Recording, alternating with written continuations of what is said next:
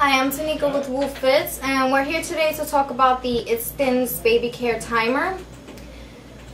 You have four timers set here for changing, feeding, nap time, and a miscellaneous one where you can set anything like if you need to remind yourself to make another doctor's appointment or your baby's medication. It also has a belt clip here that's really good to make it portable, great for dads to stick on their on their belt on their belts.